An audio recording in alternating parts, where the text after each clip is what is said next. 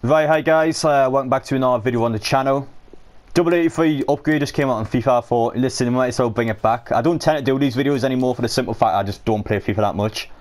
But yeah, if you're new to the channel, make sure to subscribe. I sure you enjoy. Appreciate all the support as always. And in the next hour, I will be live streaming, of course, of the Crystal Palace game. I mean, what a game that's going to be. but uh, seriously though, uh, appreciate all the support. We're going to literally put these players in now. Double 83 plus. I'm surprised it's not repeatable.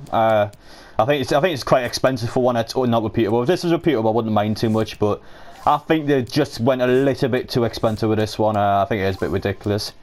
I would do as cheap as I can, guys, but be honest, I, I don't play this game. I, don't really care. Uh, trying to figure out a way to get. We're gonna have to get the chemistry here. I don't know why they locked the goalkeeper spot off. Like, there's one less player I suppose put in, but still, it's quite annoying to get this done. Put Reguilón on left back. Oh, yeah, there we go.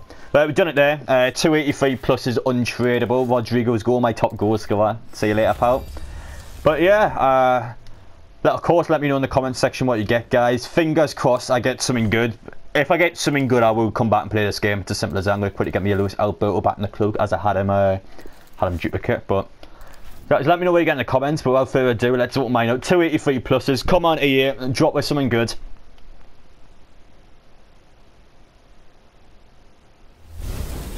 Oh no, it's not a walkout. Uh, I mean, is even any good Brazilians? Thiago Silva. Oh no, I've already got about 10 Thiago Silva in my club. I think it's a duplicate. I've already got one to watch. Yep.